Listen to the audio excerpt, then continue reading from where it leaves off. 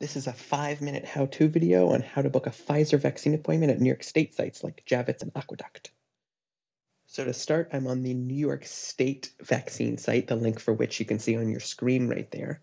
And I'm going to start this process at 27 or 57 minutes past the hour, any hour, because there's something I have to do at exactly zero or 30 minutes past the hour to give myself the best chance of getting an appointment. So to start with, I'm just filling in my information as normal, and it should look pretty normal so far for you. And once I hit that I consent checkbox, I can submit and locate providers, and I will have Javits Pfizer at the top of my screen. If it's not on the top of your screen, that's okay. It might say no appointments available, that's okay, but you're going to find Javits Pfizer, even if it's on the second or third page, and click that Schedule Your Vaccine Appointment button we come to this page with a CAPTCHA, that's that checkbox. And right here, we're going to wait until exactly zero or 30 minutes past the hour. And that'll help make sure that there'll be appointments on the page once we finish the CAPTCHA because the appointments are released at, in my case, exactly 2.30 p.m. So when the clock hits 2.30, I finish this CAPTCHA as quickly as I can. So here I'm just checking all the traffic lights and hitting verify. And then, okay, I'm going to try to reserve an appointment quickly. And right now at this step, it'll most likely be taken and I won't succeed. But still, I'm going to click the top appointment in the list. I'm going to click I agree.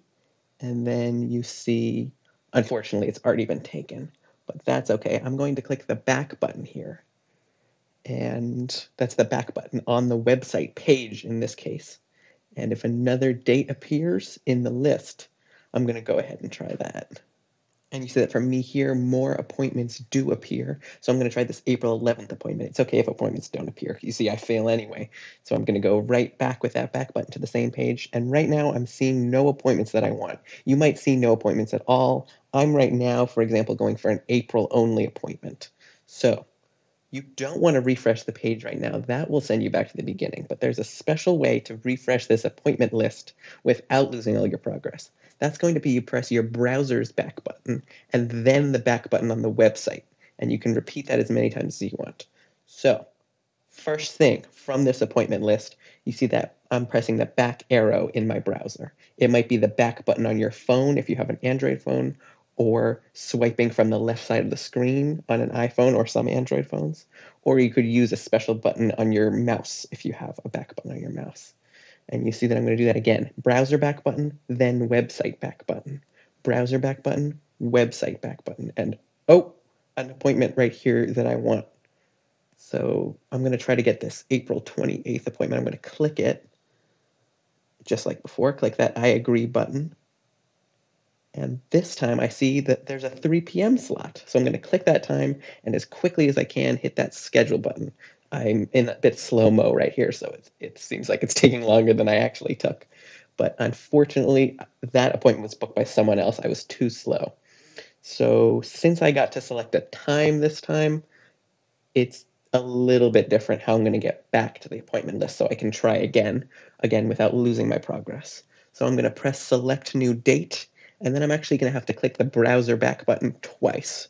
So you'll see what happens here. I'm clicking select new date, since I'm ready to try any date in April. And then I'm going to click the browser back arrow. And you see that I come back to the same page. So I'm clicking the browser back arrow again. And now, since we have that magic website back button, I click that button labeled back again.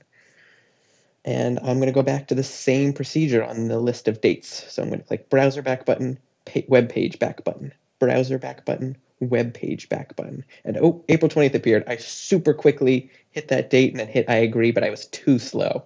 So I'm going to go ahead and just like before, click that back button. Then browser back arrow, website back button. And oh, April 30th sounds good. So I click the date, I click I agree, I choose the time, and I click schedule. And oh my goodness, would you look at that? I just secured an appointment. So I like I am needless to say taking a deep breath right now, very excited. So this might take you a lot of tries. I've practiced a couple times, but I think with the combination of the tips I've shared, you're gonna be able to get this done. So right now, before I continue, since I have 20 minutes, I'm checking my calendar to make sure that I'll be available on the listed time of the appointment and then also exactly 21 days later at the same time of day for my second dose, in this case Pfizer. And then all you have to do is follow the prompts like I'm doing and you'll be set.